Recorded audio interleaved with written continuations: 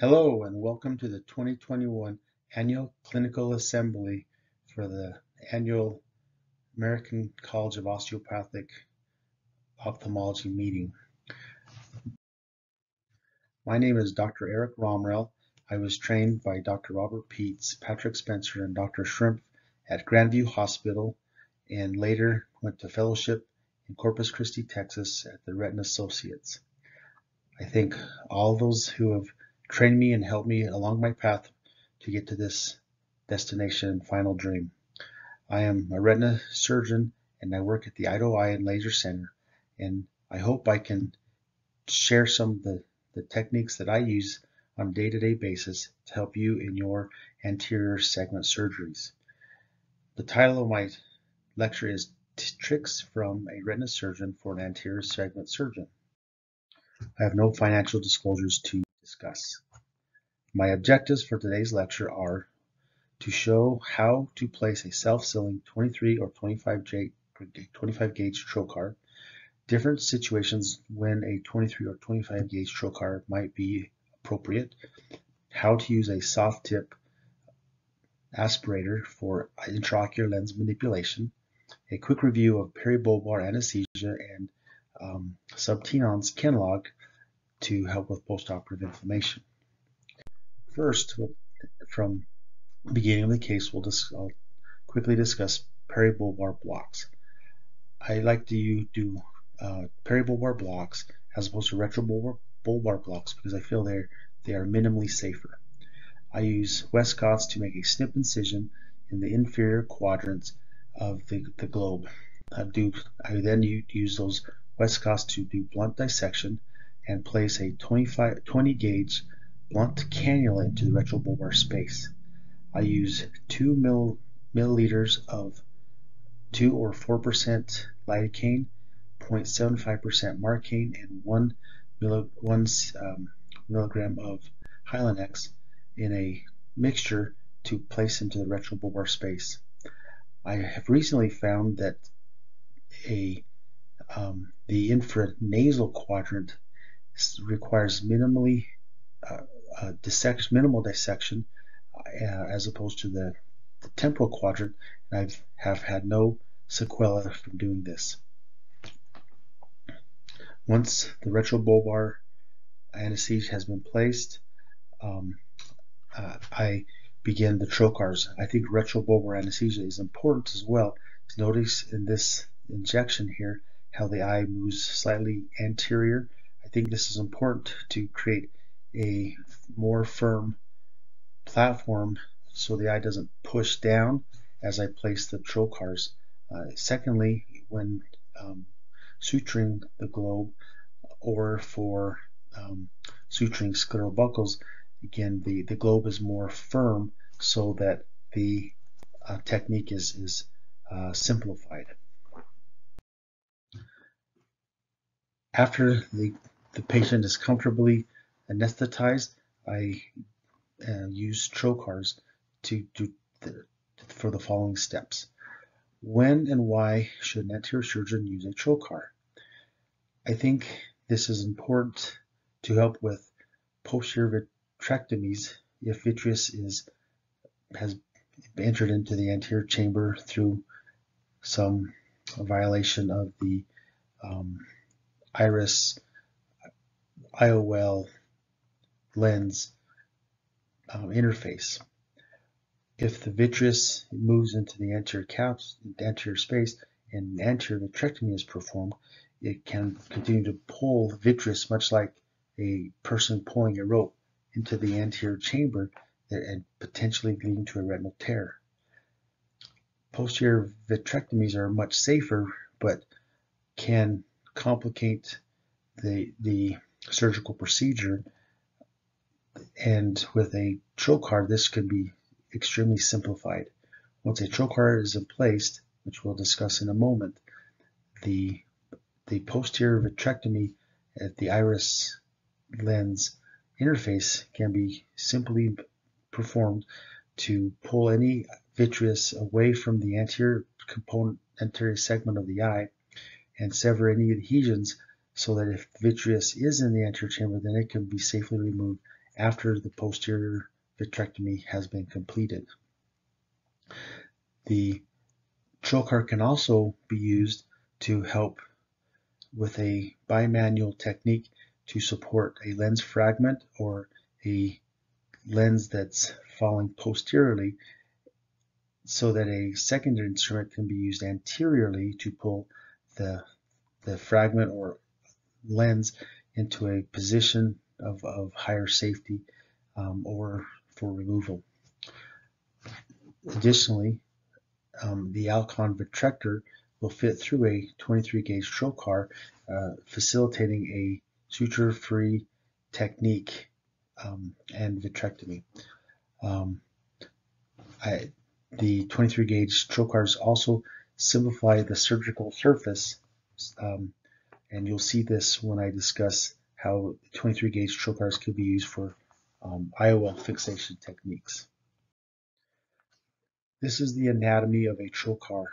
on the top of the picture, you'll note the Centurion Vitrect 23 gauge vitrector uh, has a trocar placed on the shaft um, and, and moves nicely. At the bottom, you'll see an obturator loaded with a 23 gauge trocar. The obturator has a sharp blade that is designed after the fashion of a diamond blade for um, to make the main incision for uh, cataract surgery. This is important because it doesn't make a hole or a punch through the tissue, rather it's more of a linear fashion through the, the planes of the tissue so that when the um, trocar is removed, these planes can then line up in, and self-seal much like a clear corneal incision wound, but in the sclera itself. Trocar placement is important. They need to be put similar to a cataract surgeon's incisions in a manner that is ergonomically comfortable for the surgeon. When I place trocars, I place my hands in a position where I will be using the instruments and at that location is where I place the trocar. Once that position has been identified, I measure back 3.5 millimeters posterior to the limbus for a aphakic or pseudophakic patient, or 4 millimeters posterior to the limbus for a phakic patient. I then reflect the conjunctiva away from the, the area of placement in a circumferential direction to then I um, place the, the trocar at 45 degrees, roughly 45 degrees from the um, eyeball globe uh, angle in a um, similar to a uh, beveled entry for cataract surgery. Once the trocar is or the obturator um, sharp is placed roughly two thirds through the sclera, I rotate the obturator to 90 degrees or perpendicular to the globe, enter the eye, and remove the obturator from the trocar. Be prepared to, when removing the obturator that if the trocar is not free, freely moving off the trocar, you can inadvertently pull the trocar out. Have tyers ready to grasp the, the trocar, then remove the obturator from the trocar safely so it will not be inadvertently uh, removed as well. The trocar will retract posteriorly um, um, to the similar to the angle of insertion when the obturator is removed. When the con conjunctiva is reflected, if the patient has had uh, previous surgeries and the conjunctiva is not very mo mobile, I will can move the conjunctiva towards the limbus um, or um, towards towards uh, different directions so that that, that quadrant or trocar will have the conjunctiva move back over the the wound so that the wound and the conjunctiva and the wound in the sclera are not continuous for um, um, to facilitate entry of bacteria nor air or fluid to ex to extract or exude through the incision and the conjunctiva. Here's is a video of me placing a infratemporal trocar for a infusion cannula. Note how I reflected the conjunctiva circumferentially around the eye. I placed the trocar obturator complex roughly 45 degree angle to the globe in the, retract, in the reflected conjunctiva.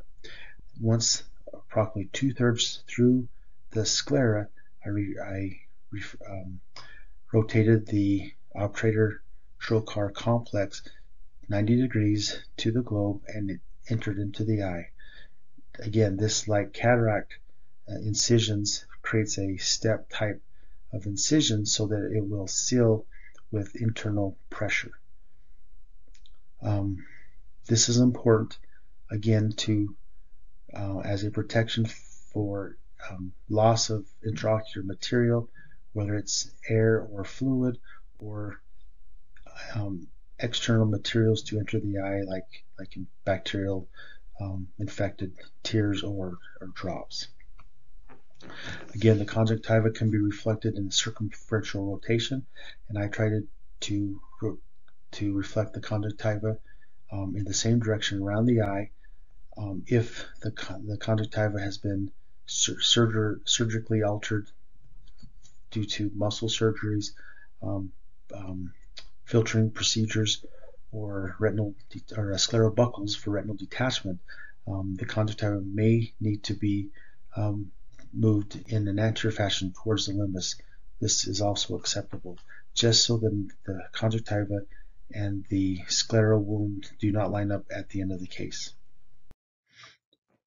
Use, other uses for trocars are um, I have had uh, extreme success using 23 gauge trocars with the Yamane technique. Uh, again, um, the large 23 gauge um, um, cannula um, can accommodate my 25 gauge um, 13 or asymmetric forceps to grasp the tip of the IOL haptic and remove them through the 23 gauge trocar and again because the the haptic obturator um, incision is more of a grooved incision um, as opposed to a 25 or 27 gauge needle which is more of a round incision um, I I believe they seal in a much more efficient manner. Um, one trick that I have noted to aid my Yamane technique is I place a small slight bend in the haptic tip um, in, uh, in an out, outer way direction um, to facilitate uh, um, in, in kind of a, a barbed fashion so that the IOL again is more difficult to follow through the tunnel and sclera at a future date and, and dislocate into the eye itself. Um, I always preoperatively put a, a, um, a PI. Um, I recently learned that. Uh, PIs are very important. Um, additionally, I start with the surgeon's right hand um, haptic because this is in an uh, unergonomic direction pointing towards the surgeon's down or towards the patient's feet. Um, the right haptic is can be more difficult to manipulate as a second um, haptic to externalize as opposed to the left haptic, which is more ergonomic, pointing up towards the surgeon, so it's much easier to, to grasp and manipulate. Here is a video of me using a uh, using 25 gauge number 13 um, uh, forceps to carefully grasp the tip of the haptic. I move the haptic so it's in line with the, the forceps and then, ex, then uh, remove the BIOM so I can view the external of the eye. Note the surgical surface, how there, with these trocars, there is not a bulk of, of, um, of hardware in, in the surgical plane to interfere with um, the surgical procedure, uh, as I have found with using the 25 or 27 gauge um, large bore needles. Um, once the haptic is, is externalized, I use a cotton tip applicator to help um, hold the um, haptic in place so that it will not inadvertently move or fall back into the, the globe. The left haptic, and you'll note the ping pong style technique um, you'll see here in a moment. Uh, again, grasp the tip of the fork with the, uh, the uh, 13 forceps to externalize the, the um, haptic. Just note how it easily falls or is removed. Unfortunately, easily removes, falls back into the globe itself. Here we play ping pong with the haptic tips. Note the the left or, or uh, excuse me the right haptic how it has the uh, external bend to hopefully make it more difficult to fall back into the globe. Once they both haptics have been externalized, the haptics or the uh, trocars can be simply pulled in their directions um, following the the incisions and um, haptic tips then um, uh, burned to make the, the large bulb um, so it does not fall back into the eye and um, remove uh, then um, I do a quick 25 gauge uh, vis uh, visualization to ensure that no tears or breaks um, of the retina have occurred through the um, inadvertent um, externalization of the lens and eye haptics.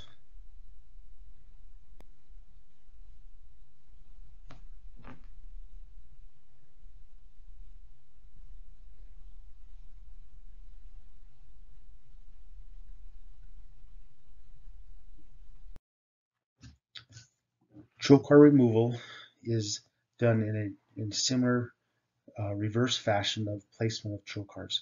I use a solid object obturator to place into the trocar lumen, then pull the trocar over the surface um, of the obturator in a reverse fashion. This ensures that no vitreous base is in the, follows the, the path of the uh, vitrector or forceps can be incarcerated within the wound at the end of the case. I use a cotton tip um, applicator to move the conjunctiva back to its original location so that the surgical incision of the conjunctiva and the sclera are not in direct alignment. If leaks are noted, continue holding pressure for several seconds. Again, to repeat what I did, here I use forceps to enter the wound uh, pull the obturator or excuse me, pull the trocar over the um, um, forceps obturator. And here I am placing the conjunctiva um, over, over the wounds, placing pressure. Um, as you'll note, in minimal um, positional change of the infusion cannula, um, that I am increasing pressure slightly to to ensure that there's no wound, no uh, wound leaks. Um, if there were wound leaks, we would see bubbles coming out of the incisions. Um, once I feel the incisions are not um, leaking and there's no vitreous incarceration, um, uh, we are done with the case. Note how nice and clean the eye is for minimal um, heme around the incision sites. Another tool commonly used by the uh, retina surgeon is a soft tip cannula. These are important for um, draining fluid through a retinal break, uh, retinotomy, or um, posteriorly um, at the optic nerve to dehydrate the posterior chamber for air fluid exchange. In this case, note how I have reached down with the soft tip, increase aspiration, to engage the, the lens, I would slightly decrease the infusion and note how the IOL will slide down the, the uh, um, soft tip until I'm at the base. If, if required to hold at the optic, that is, that is fine. Um, in this case, I repositioned the IOL um, so that it was um, closer to the um, uh, left haptic so the point could be hung on the iris and then um, through a superior enlarged incision the uh, haptic was carefully grasped but with and removed. Um, then later, um, anterior chamber lens was was placed. This was prior to my experience of using the 23 gauge trocars with the um, Yamane technique. But note how um, as I move the, the lens, it, uh, it uh, has a high degree of control. Um, my anterior segment partners on rare occasions have a lens that is dislocating and they cannot um, grasp the, the um, haptics. Um, can, we'll use the soft tip to manipulate the lens minimally so the haptic is is um, exposed so they can be later grasped and um, manipulated into a safer safer position. At the end of the case, I inject 0.2 cc's or 8 milligrams of subtenon Kenalog. This is to help with any postoperative inflammation and um, lack uh, and, and the need to not use an additional drop and less expense for the patient. I have had rare instances of of um, uncontrolled pressure, but occasionally I will note uh, a increase in pressure, which can be easily controlled with topical aqueous suppressants. Any questions? Um, next year, if if uh, I am invited, we can pursue doing a wet lab and further instruction on how to do 23 or 25 gauge trocars.